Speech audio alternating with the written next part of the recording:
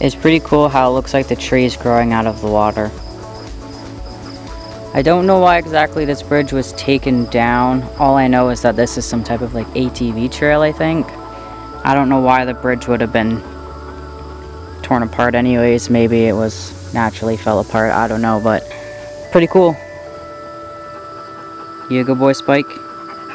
Yeah.